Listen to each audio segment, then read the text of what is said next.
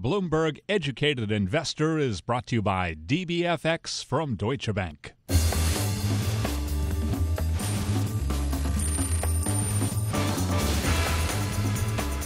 Volatility. It's cyclical, hard to predict, and can differ depending on the currency pairs you're trading. To capture profits, you'll need to look at what's referred to as implied volatility. It is an estimation of the returns that one can expect in a particular currency pair. Implied volatility is, is a very eloquent um, figure that the market kind of spews out.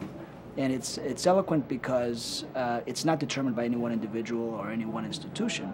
It's derived from the trades that you see in the market. It encompasses the market's anxiety about a coming event. That could be a political event, that could be a, a financial situation that is unraveling.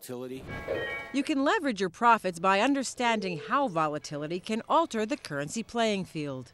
When you use leverage, you need to have a, a really good sense of volatility in the underlying market. The uh, Mexican peso or the Turkish lira or the Australian dollars are much more volatile currencies you have to make sure your leverage levels are lower because otherwise the volatility, the day-to-day moves will be so much larger that you could manage.